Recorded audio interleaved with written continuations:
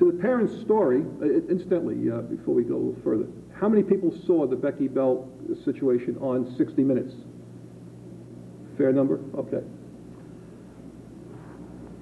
The Becky Bell story, as told by the parents, and as uh, it was done on 60 Minutes,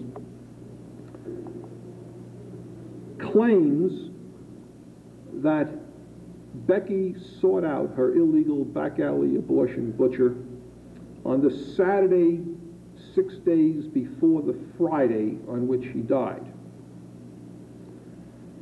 And the parents, depending upon which story you uh, read, because there are several stories now floating around as they, uh, you know, once, once, they begin to tell a lie, you have to keep uh, changing it all the time when some new facts come up. She allegedly used the subterfuge of the parents, going to go to a party. Then later on, when they found out that they really had been a party, but not quite the kind of party the parents like to talk about, a party uh, incidentally full of drugs, illicit sex, and so forth. And um, some of that is on the uh, coroner's report, by the way. The parents like to talk about the coroner's report. They never show it to anybody. That's right on the front page of the coroner's report. It indicates the kind of party that Becky had been at. LSD, speed, cocaine, uh, names of people that she had, had uh, been with, etc., etc. So while I talk all the time about the coroner's report, they only show the front page of the autopsy report. Uh, both reports, by the way, indicate that she allegedly died from the same uh, cause, septic abortion with pneumonia. That's a little uh, line on the report, but when you open up the report, look inside, there's not the slightest bit of evidence for anything other than the fact that this girl died of streptococcus pneumonia, a very severe uh, uh, uh, infection from it, the exact same brand of pneumonia that within hours felled and killed the famed puppeteer, muppeteer Jim Henson, who previously had been in excellent health and uh, came down sick, did not treat it, and was dead within 24 hours.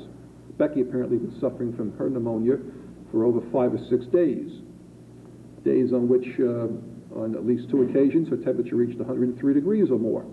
Yet the parents did nothing, never took her to a doctor. Now, the business about going to a party, if you recall the 60 Minutes uh, piece, uh, and I'll read from a transcript of it, a little bit here. This is Maurice Safer now talking. As you recall, Maurice Safer was the fellow who uh, uh, was the um, uh, person who handled that, that segment of 60 Minutes. And Maurice Safer says, her parents say that in desperation, Becky turned to some back alley abortionists.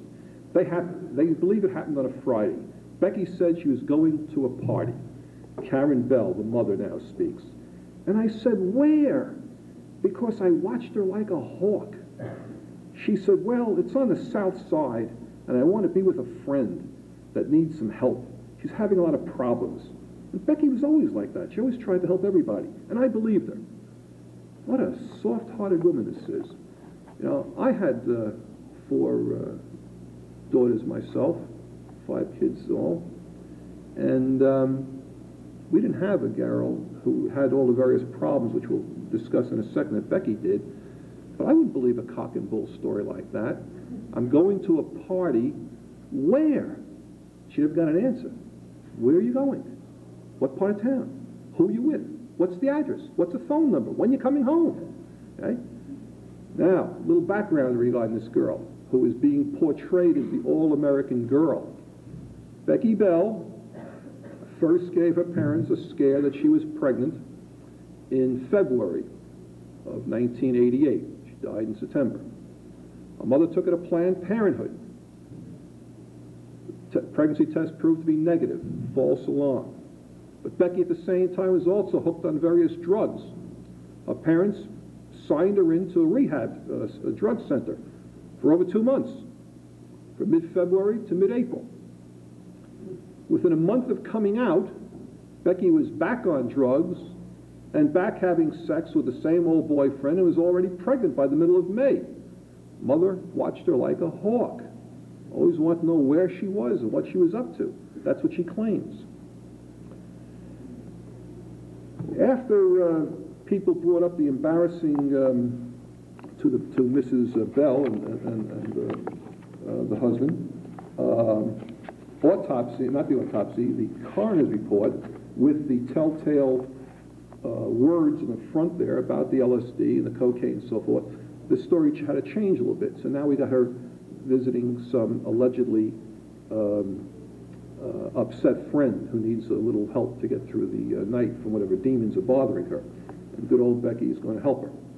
And uh, if I sound um, too facetious regarding this or cynical and so on, I, I want to state first of all that I do sympathize with the parents. I really do. This girl was one one heck of a um, problem to uh, contend with. I appreciate that. I don't want to knock the girl too much either. But this is a cause celebre that is an absolute fraud being perpetrated all over the country. And I just can't let them get away with this kind of stuff. The parents have voluntarily put themselves forward, telling this cock and bull story everywhere, and every, every place they can, under all circumstances. And in fact, that's their, that's their job.